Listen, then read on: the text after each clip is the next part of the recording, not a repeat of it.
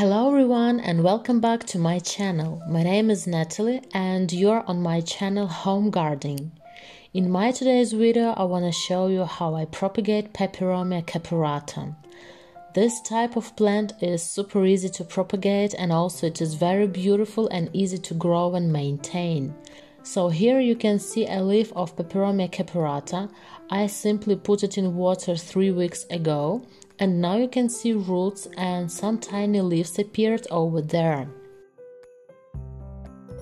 Peperomia is a small house plant with very dark green leaves, lovely red to purple stems, and interesting red tail shaped flowers. What I do next? I take a small pot filled up with soil and plant my leaf with roots in there. Do everything very gently, try not damage the roots. Press the soil.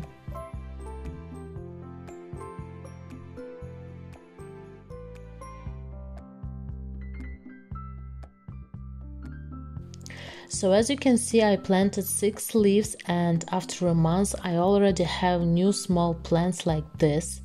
Just look at these beautiful small bushes.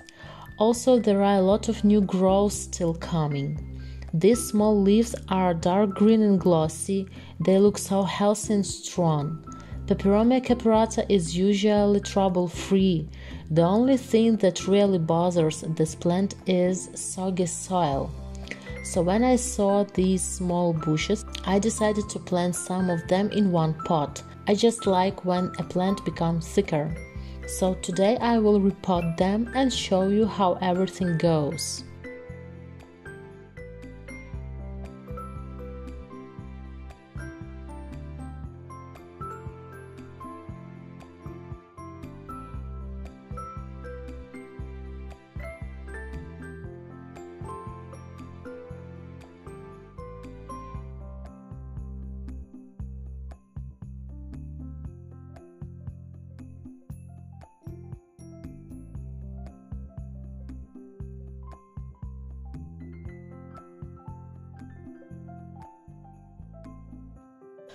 So first of all, when you are going to repot your plants, get ready to add dirt and try to use some tray for extra soil, for example as I do.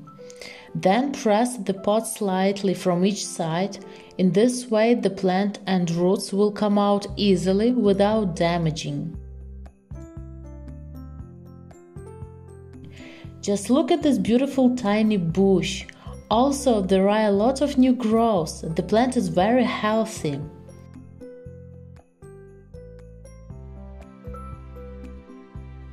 And then I do the same with all my peperomias.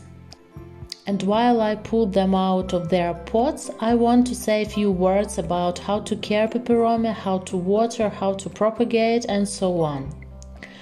This plant is naturally found in tropical rainforests in Brazil, this means it doesn't appreciate low temperatures and will do well with relatively high humidity. Because the sun is mostly blocked out by taller trees in these regions, Peperomia caperata is also not used to receive direct sunlight.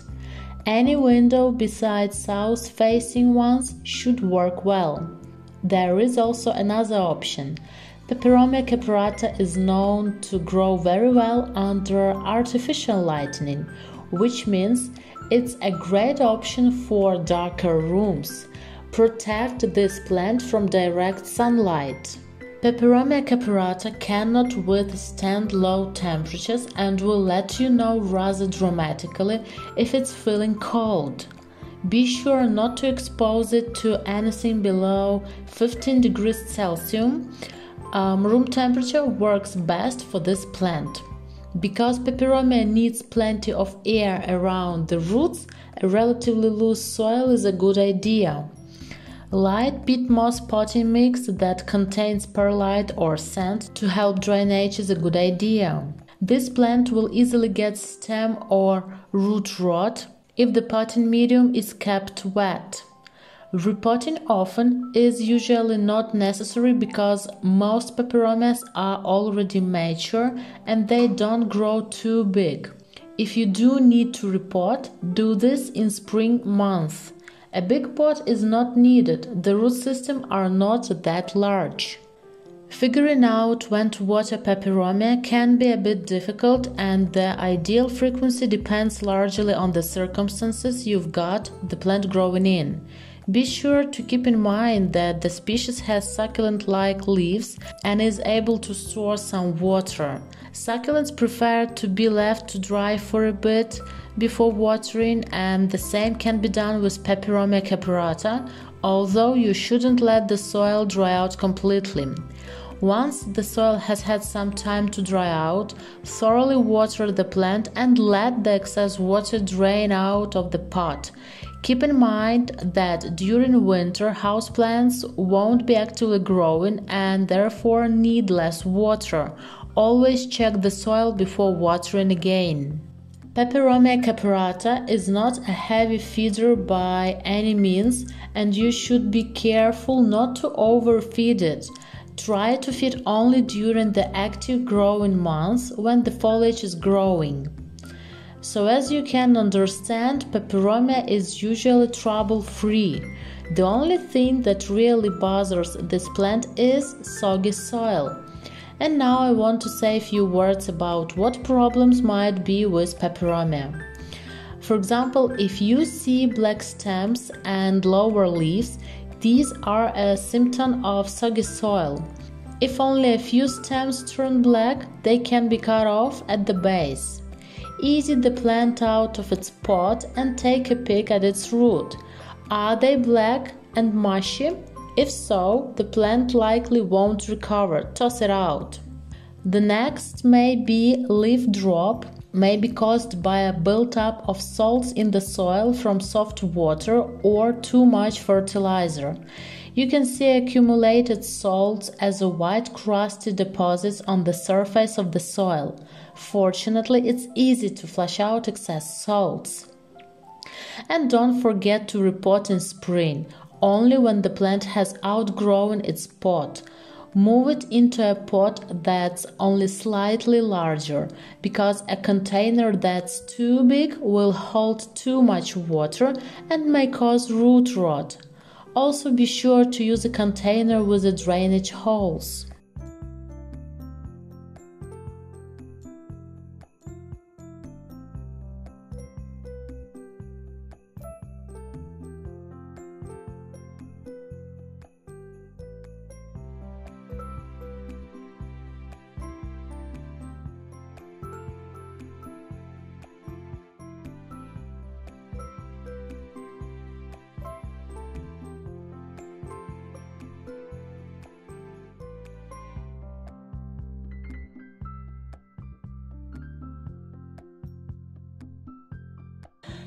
And now this is the final result. Now I made it look thicker. I like it. I love this plant. I can't wait to go back to the plant store and check out more plants from the Peperomia family. Well guys, if you find this video useful, please give this video a thumb up. Please subscribe to my channel for more videos. See you soon. Happy gardening. Bye bye.